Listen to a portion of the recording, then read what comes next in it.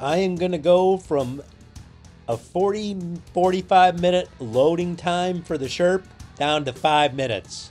I got myself a Sherp trailer. I'm really excited.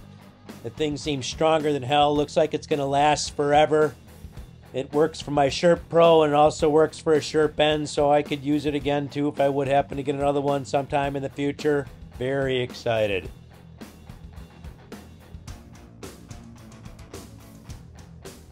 Hey everybody, Dan here from Sherp ET. We are on our way to Bemidji, Minnesota, which is about 500 miles away from my house, but I actually stayed at a friend's house about halfway.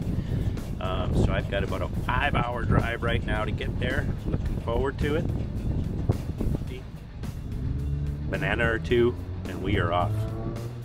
Well, we made it safe and sound, so that's good.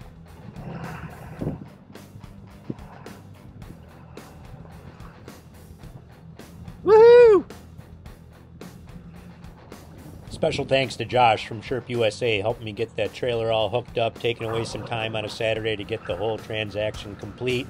Greatly appreciated. We are off and running. Back to my buddy's house and stay overnight there tonight, and then I'll get back home. US to east toward Wisconsin. So this is the first time I'm trying out this brand new Sherp trailer. Drove to Bemidji, Minnesota to pick this baby up, so I've already put 500 miles on it. It pulls like an absolute dream with nothing on it. Wasn't any bouncing around, nothing like that. Looks like everything is uh, fairly complete and very well made. Only thing I did, which was extremely minor, is I vacuumed out some metal filings in the storage compartment here and I put some uh, silicone gasket around that with the hopes to see if we can keep that water tight. So let's turn this Sherp on and see how she works. So I have to admit, this is the first time I was on this trailer and I was a little bit nervous. Didn't want to go too fast and I didn't want to stop at different places. That's a lot steeper than what you think and it was more violent than what I was expecting, to be honest and you can kind of see this in the middle. See, there's those two black little plates in the back side of the trailer. There's actually six of those. I was concerned that those were going to whack on the bottom of the Sherp when I brought it on, and I think I actually did it just a smidgen. Not that it would probably matter anyway. Those six are there. When you let the air out of the tires, it rests right on that trailer and it takes up all the weight so it doesn't bounce around at all. And another view. With time, I'm definitely going to get much better at this. I am so grateful for this trailer. Loading and unloading is going to be so much faster. Let's give her one more shot here. Second time I went on the trailer, it was much smoother. Didn't let off from the clutch, and I felt confident. So that was a good thing. But the first time that I went off of the trailer, I was a little bit nervous, to be honest. You have to go up that little bit of a ridge there, and it just didn't feel right because the front tire is going up at an angle at the same time.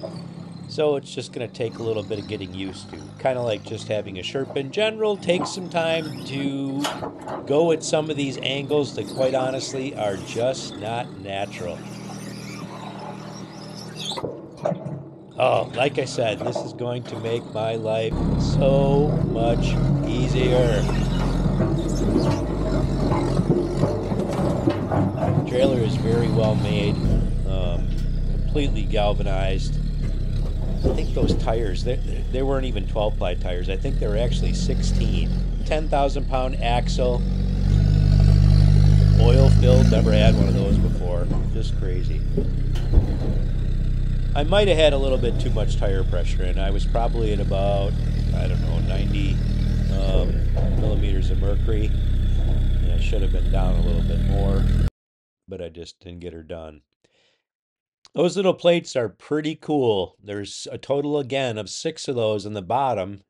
And when you let out that air pressure, that holds all the way to the kind of shirt. cool about this trailer is after you get it loaded, tires, and drop farther.